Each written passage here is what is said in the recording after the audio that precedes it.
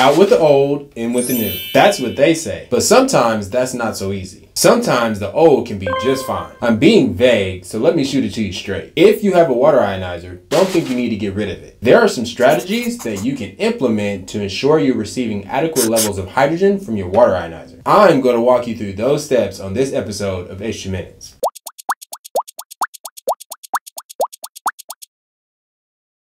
So before I begin, I have a big announcement to make. Next month, my two YouTube channels, H2 Minutes and H2Hubb, is doing a giveaway. Through the month of November, we'll be partnering with a company that supports H2 Minutes to reward our loyal viewers with the chance to win a giveaway. There will be two awesome hydrogen products that we will be giving away, as well as some extra content for you to enjoy. We'll be giving away all the details very soon, so stay tuned. Don't forget to check out the description of this video for all the cool stuff that we have there for you. Okay, so on to the water ionizer tips. There are five things you need to do to make sure you're getting the most out of your water ionizer. And by getting the most out of your water ionizer, I mean getting the most dissolved hydrogen into the water. If you're not sure what I'm talking about, you might need to watch my last videos on the topic. In the truth about ionized water, I explain the history of ionized water and the real reason for the health benefits, which is, of course, hydrogen gas. And then in my last video, the problem with water ionizers, we went over limitations ionizers struggle with to dissolve hydrogen gas into the water. And of course, understanding hydrogen water discusses the importance of dissolving hydrogen gas into the water water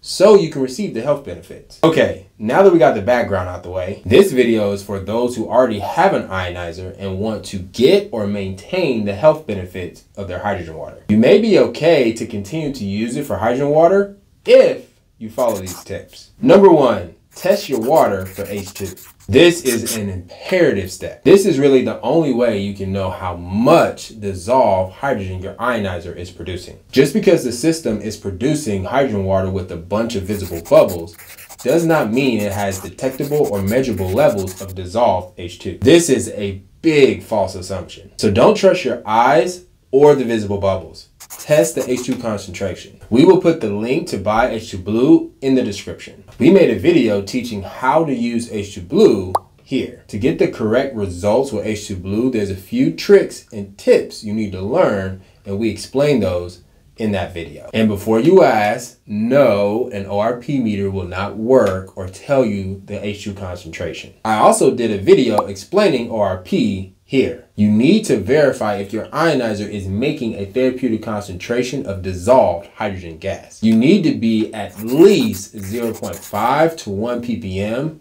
but in my opinion, it's better to be at 0.8 to 1 ppm or above while maintaining a pH of 9.5 or less. And you need to test it often, at least every two weeks to a month depending on the maintenance. One good H2 reading does not mean it will continue to perform at that level. Before we move on, if you have an ionizer, go ahead and let me know in the comments your H2 Blue results. Number two, test your TDS. To do this, you will need to purchase a TDS meter like this one. I got mine on Amazon and I'll put a link to it in the comments. TDS stands for Total Dissolved Solids and it references the minerals dissolved into the water. It is super important to know if you have soft or hard water. As I stated in this video, minerals in your source water are necessary for electrolysis to work in an ionizer. You will not be able to produce hydrogen efficiently without adequate minerals. So if you measure a very low level of dissolved H2 with H2 blue, the TDS meter may give you an insight as to why. Now, if you did test a normal level of dissolved H2,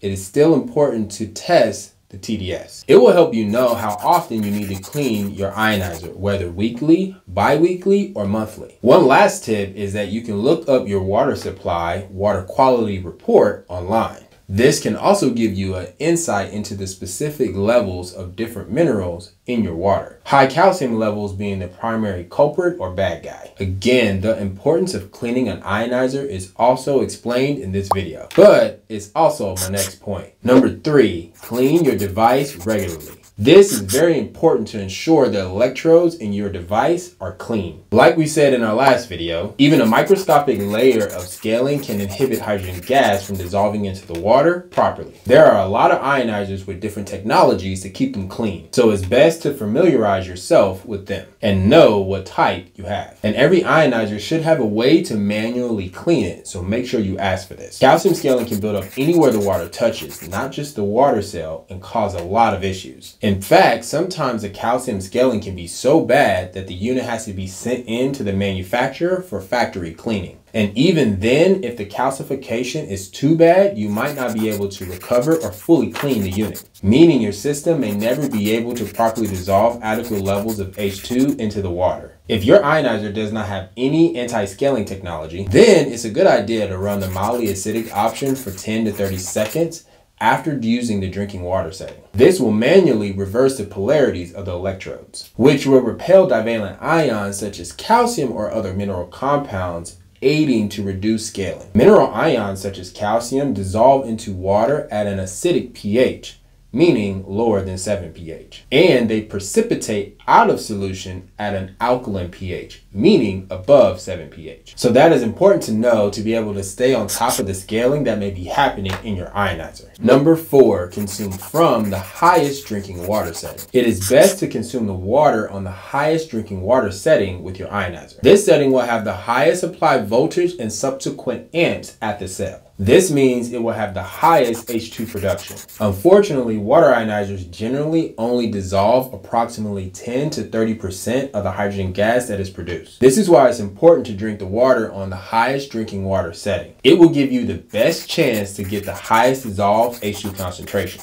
Note, I am saying the highest drinking water setting for a reason. Some ionizers have a strong alkaline setting that uses an electrolysis enhancer. I would not recommend drinking any water from an ionizer that has been produced with an electrolysis enhancer. Stay tuned for our next episode as we're going to debunk some popular misconceptions about the other waters produced by an ionizer. It is also important to check the pH of any alkaline hydrogen water you drink from an ionizer. As I stated in my last video, drinking water above a 10 pH is not recommended. pH meters will be most helpful as well as it will be hard to discern the exact pH with the colorful pH drops. If your drinking water is above a 10 pH, I recommend using a couple drops of lemon juice to bring the pH down. Number five, find the sweet spot. All water ionizers will have a sweet spot of the dispensing flow rate that will dissolve the most hydrogen gas. This is where the dispensing flow rate of the water is not flowing too fast, which will not allow the H2 bubbles enough time to properly dissolve, and it's also not too slow which will allow for too much time and the H2 bubbles get too big and escape the water right away. You have to channel your inner scientist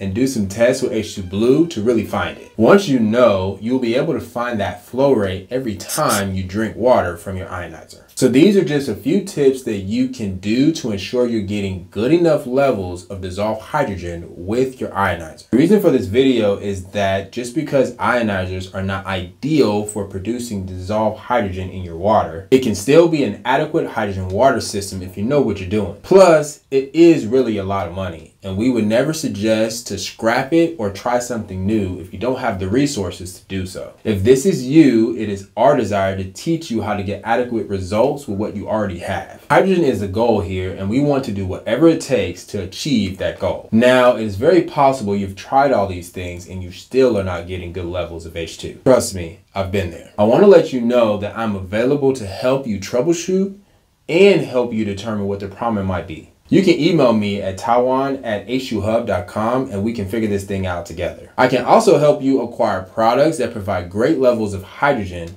that can work within your price range if you're interested. Stay tuned as we continue this series on water ionizers next month. As always, thank you to our community at Patreon for supporting us. We've made some changes to our Patreon. Now you can access most of the bonus content for just $5 a month. We would love to have you be a part of our community. Be sure to share this video and of course, like and subscribe. That was your sweet spot dose of H2 within minutes.